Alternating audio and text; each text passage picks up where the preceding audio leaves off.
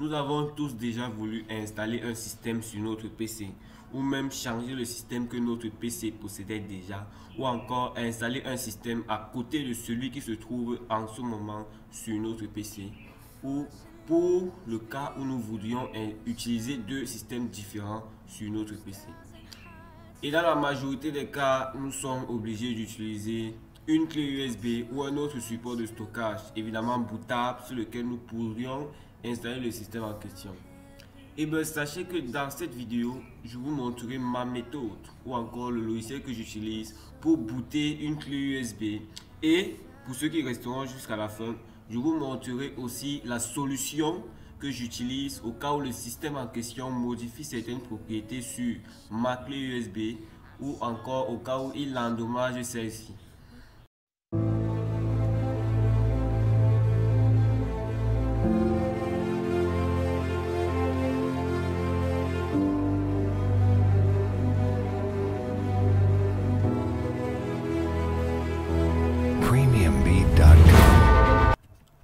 Tout d'abord, pour ceux qui sont nouveaux sur la chaîne, je vous prie de faire vos trois premiers pas. Pour le premier, il est simple. Il s'agit de vous abonner en cliquant sur le gros bouton rouge qui se trouve juste en dessous de cette vidéo. Le suivant se distingue par la cloche de notification qui se trouve juste à côté du bouton s'abonner. Et le troisième consiste à liker la vidéo afin que celle-ci puisse toujours être très bien référencée et aider tous ceux qui, comme vous, souhaiteraient connaître la solution pour installer facilement un système sur un PC, quel qu'il soit. Comme je l'ai dit tout au début de cette vidéo, celle-ci portera essentiellement sur la méthode que j'utilise pour de 1. booter une clé USB et de 2. installer un système quelconque, éventuellement en extension ISO sur notre clé USB. Pour ce faire, nous allons utiliser le logiciel PowerISO. Et pour ceux qui ne le connaissent pas, qu'ils sachent que c'est le logiciel que j'ai utilisé dernièrement dans mes premières vidéos pour créer des fichiers images ISO compressés que nous pourrions, que nous aurions pu graver sur des CD. Et donc, après avoir téléchargé le logiciel en cliquant sur le lien qui se trouve juste dans la description de la vidéo Évidemment, cela est pour ceux qui ne l'ont pas encore.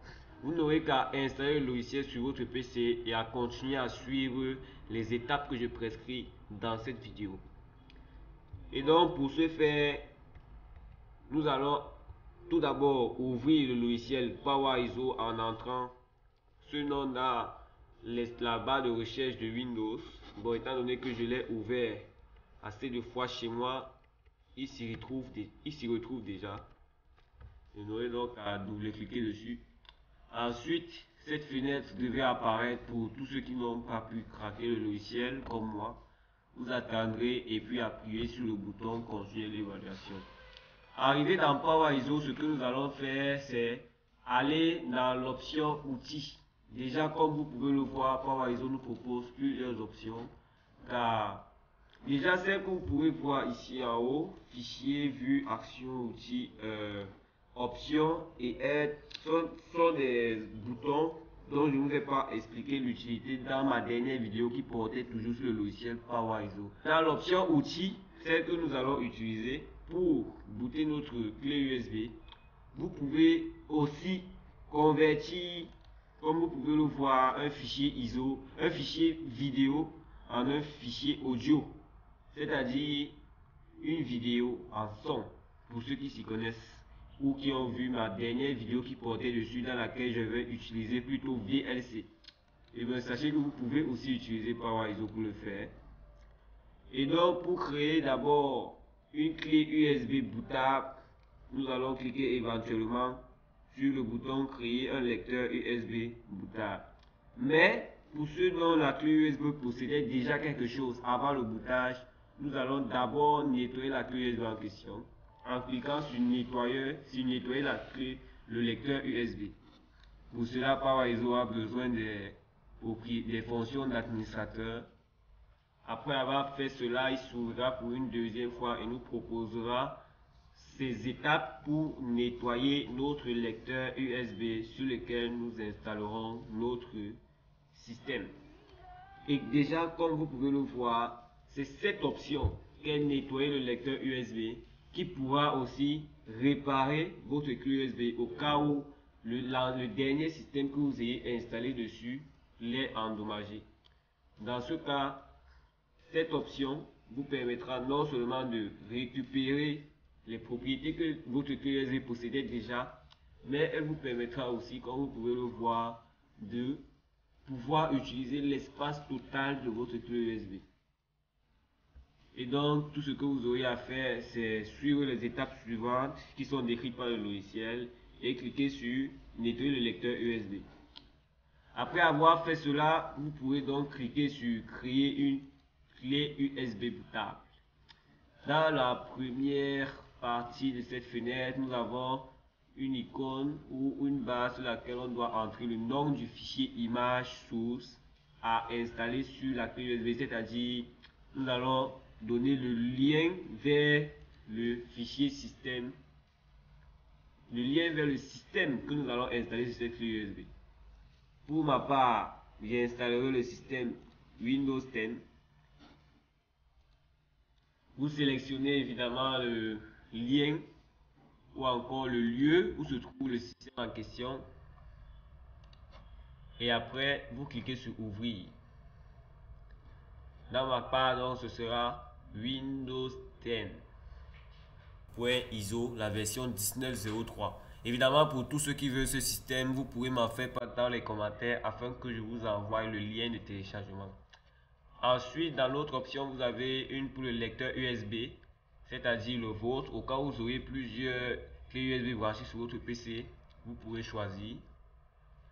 Après cela, tout le reste des paramètres seront donnés automatiquement par le logiciel et tout ce que vous aurez à faire, c'est de cliquer sur le bouton démarrer.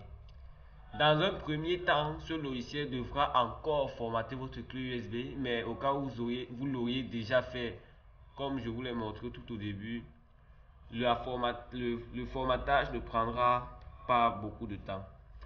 Et donc, vous l'installation du système commencera aussitôt que vous aurez lancé le logiciel en question. Et donc, après avoir fait cela, vous pourrez utiliser le, votre clé USB pour installer votre système sur n'importe quel PC qui en aurait besoin. Là, nous arrivons au thème de cette vidéo car, comme vous pouvez le constater, je vous ai déjà montré comment j'utilise PowerISO pour booter un système sur ma clé USB ou encore pour réparer celle-ci lorsqu'elle a été endommagée par quelconque système. Et la plupart du temps, les systèmes qui endommagent les clés USB sont bel et bien les systèmes Linux. Et donc, si jamais un de ces systèmes Linux est endommagé votre clé USB, vous n'aurez qu'à cliquer sur nettoyer le lecteur USB pour récupérer l'espace disponible sur celui-ci. Et donc, nous arrivons donc au thème de ce tutoriel. Merci pour l'attention que vous m'avez donnée tout au début pendant toute cette vidéo et surtout j'espère que celle-ci vous aura appris beaucoup de choses sur le bootage d'un système sur une clé USB et qu'elle aura éventuellement résolu votre problème. Évidemment, si vous avez rencontré un souci lors de l'application des étapes décrites dans cette vidéo, vous pouvez m'en faire part dans les commentaires. N'oubliez pas de liker la vidéo car je suis sûr que celle-ci vous aura appris quelque chose. Merci pour votre attention. On se revoit lors des prochaines vidéos. Et à plus.